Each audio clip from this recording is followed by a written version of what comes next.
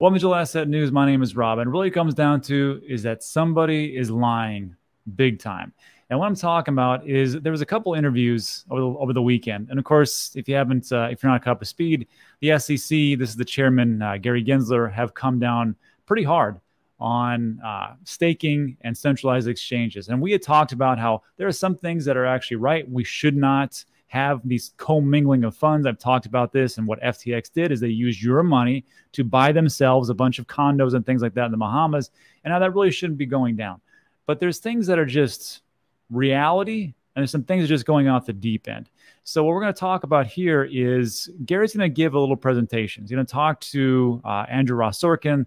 He is the host of Squawk Box and just tell him why and how easy it is to come in and register these securities and uh, the questions that, that come forth. So we're going to go over a bunch of different things, but what the resolution for me and the only way I see out of this is we have to sue the SEC. This is what I'm talking about. Just take a listen to this uh, interview. Well, let me ask you, talking about clarity, and this is maybe a philosophical, sort of broader policy perspective. I think that there is a common view uh, that your office is using uh, all available means effectively to keep crypto out of the mainstream financial system through enforcement, accounting rules, inspections. Clearly, there's not real guidance yet on custody. And this may very well be a reasonable. Well, let me ask you, talking about clarity, and this is maybe a philosophical, sort of broader policy perspective. I think that there is a common view uh, that your office is using uh, all available means effectively to keep crypto out of the mainstream financial system through enforcement, accounting rules, inspections. Clearly, there's not real guidance yet on custody. And this may very well be a reasonable policy choice if that's the choice. The question is if that's the choice, why not just say it publicly? We're using all available tools. We're talking directly to market participants. We take the meetings and we say, this is how you comply. There's a handful of tokens that have actually registered the intermediaries, the storefronts, if you wish, the casinos that people are uh, investing in and investing at need to properly comply and disentangle these bundled products. The business model that they've set up has is rife with conflicts. And so we've been very candid with them. I've done it in multiple speeches since I came to the agency. We'll continue to engage. We're technology neutral. But if this field has any chance of survival and success, it's time tested rules and laws to protect the investing public, disclosure, full, fair, and truthful disclosure, address right. conflicts and disaggregate these bundled businesses, and don't have your hand in the customer's pocket using their funds right. for your own uh, platforms but in terms of the, the, the, larger industry and whether the, I mean, you, you even seem to suggest the larger industry may or may not survive. Um, you know, one of the pieces of that survival to some degree, I think, has been this idea that one day there may be something like a Bitcoin ETF or something else. Grayscale, as you know, appealing uh, the SEC's Bitcoin ETF decision, which is effectively to say it can't happen. Is there any path at which you think either that specific ETF or something like it could? The, the paths, I'm not going to speak about one, but let me generally say, Andrew, the path forward is well trodden. Whether it's large companies that you follow every day, the Apples and the and, and other tech companies or the automobile companies, manufacturing companies know how to register their offerings. The exchanges like the New York Stock Exchange and NASDAQ and so forth know how to be compliant and come into registration. The big broker dealers and the small, thousands of broker dealers, the mutual funds. Right. I dare I go on. We have tens of thousands of registrants that properly in good faith comply. They register, they make the proper disclosures. It's time for this group to do so.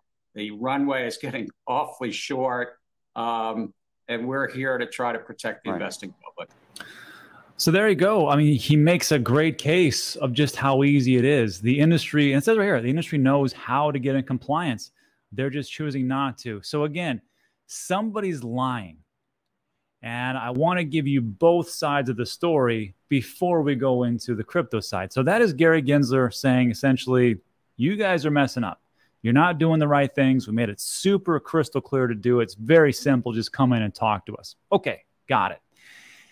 And moving forward, of course, the first person that was affected, this is Jesse Powell, the former CEO of Kraken. He comes out and goes, Oh man, all I had to do was just fill out a form on a website and tell people that staking rewards come from staking.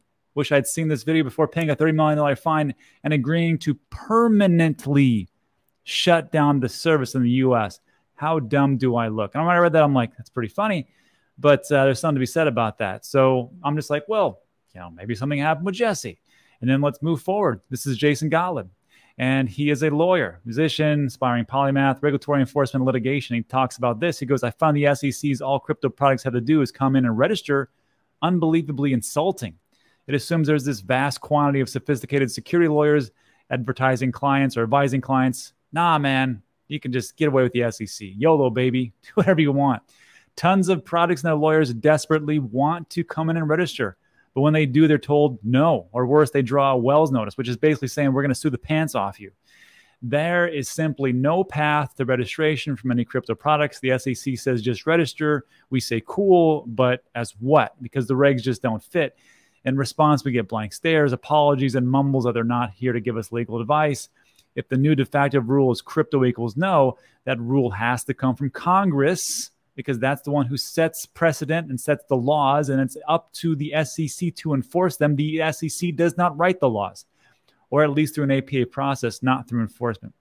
Going on CBC, CNBC to say that registration is just a form on our website is a painful misrepresentation. Again, it's insulting. It brands the whole industry and its lawyers as basically just people don't know what they're doing and are just uh, running running amok. If registration were possible, we'd do it. Give us a pathway. Show us it can be done or if at all, and watch the flood of registrations, or don't and watch the industry move offshore. And I thought to myself, I'm like, well, this is just one lawyer's opinion about what's going on, but I mean, how do we really know? Well, this is a good one. Uh, Tuongvy Le, uh, she is also a part of enforcement, legal affairs, and she was formerly at the SEC. And she said this I was at the SEC and started working in crypto in 2017. Everyone was trying to wrap their heads around it, including going after outright scams. It's now 2023 we should have at least come up with a working regulatory framework by now, and we have not. And on top of that, we talked about this before. Hester Peirce, also part of the SEC, and she said this: "Look, this is on February 9th. Today, the SEC shut down Kraken staking program.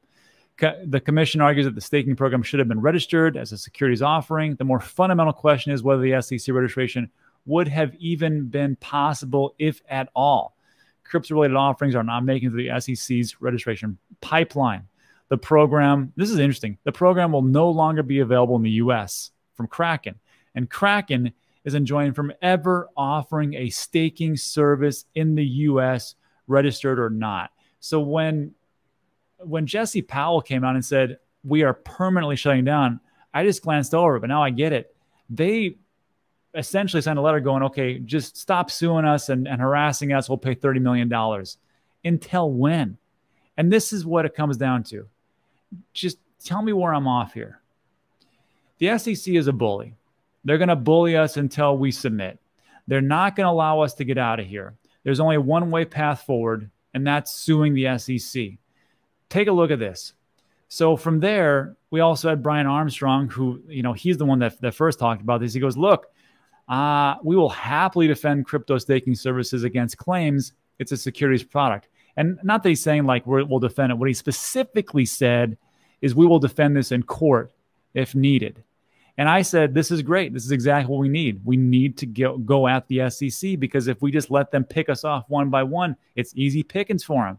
And and when before people say, but Robbie, you don't understand the SEC is such a, uh, a juggernaut. We'll never win. Mark Cuban beat them. Mark Cuban beat them in a court case in 2013 when they when they accused them of going for insider trading. So don't tell me it can't be done. And that's just Mark Cuban, one guy. So you tell me that if we can get everybody to come together as far as the exchanges, and especially in the U.S., and we can't beat the SEC, or at least tell them give us some clarity, I don't see the problem here. But again, I'm just looking at it in one way. I need you to to see where I'm wrong here and put me on the right path. But that's how I see it. Also if you think that the SEC is going to give up, of course, this is the new story that everybody's talking about today. Paxos was reportedly ordered to stop issuing Binance USD, which I found odd because it's a stable coin. So, of course, people are laughing at the SEC going, ha, that's funny. That's just a stable coin. How is there any kind of uh, uh, requirements for income? Well, here's a good statement. This is from Adam Cochran, and he is part of the part of the team over there at uh, Synthetix, Yearn Finance, Cochran.io, and he said like this. One of his primary statements was this: "But I don't earn from it. How can it be a security?" It doesn't have to be a good or lucrative security to be a security. If someone is holding or otherwise securing value for you and you are trusting them to do it and otherwise exempted, it's a security. And here's what he says. People don't realize it. And this is his, his first his first tweet, but it goes gets deep. No debenture, evidence of indebtedness, certificate of interest, collateral, trust certificate, certificate of deposit, rights, or in general any interest known as security or certificates of interest or participation in rights to. That's the whole definition of securities, which could mean anything. If all that mattered was the Howey test, you wouldn't have an entire field of law dedicated to this one act securities lawyers. Unless otherwise exempt as a bank or regular trust, redeemable deposits and trust can easily fall under this. Deposits of trust can fall under that. The fact that these assets hold underlying treasuries make them a lot like a money market fund, exposing holders to a security even if they don't earn from it making an argument, not that I agree with it, that they can be a security. So, look, if uh, you think that this is going to stop, I think this is just the beginning. And then to really make my case, this is it. If you want to just put everything in one little meme, this is how things are going. SEC is supposed to protect us. This is what's happening. Give us some clarity. So I asked you guys, I said, look, do you think we should be suing the SEC if this is even a possibility?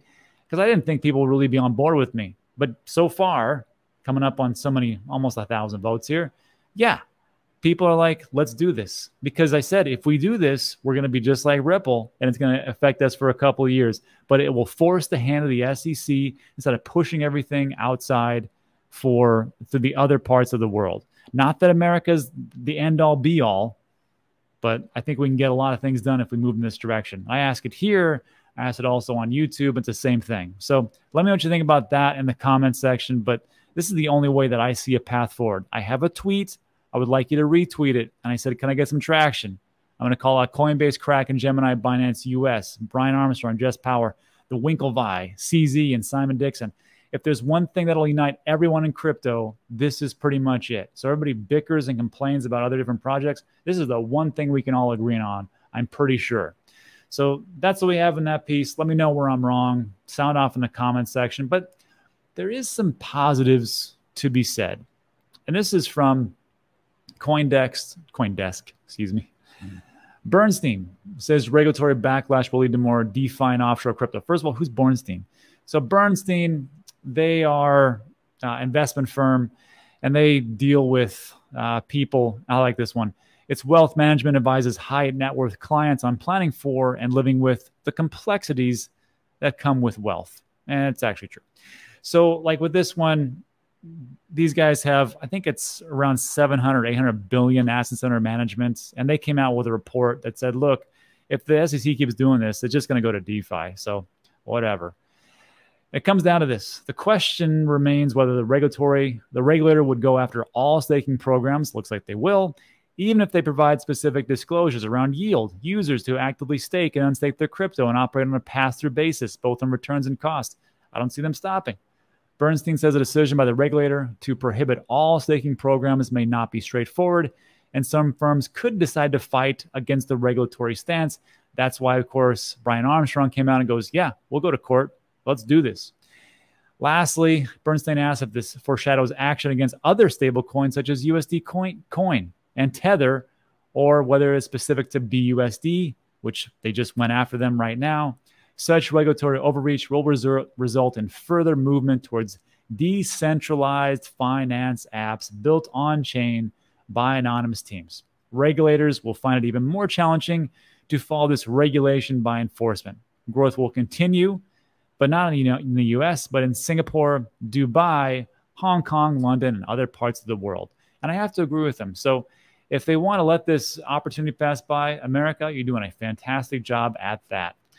And that is it for today. So, look, that concludes uh, the news to go over. Just a couple things to make mention on tomorrow. I'm going to have uh, Simon Dixon from Bank of the Future, and we're going to talk about the nonsense that is going on and how he sees things. Then also on uh, Wednesday or Thursday, I'm going to have Randy from Teen Crypto in. She's going to be my co-host. We're going to go over some things. I like Randy because she's got a very young investor's perspective. And that right there, folks, is the future. But that concludes the day for the show. So, look, if you like today's video, give it a thumbs up. Consider subscribing. A lot of things we talk about are time sensitive. But that's it for today.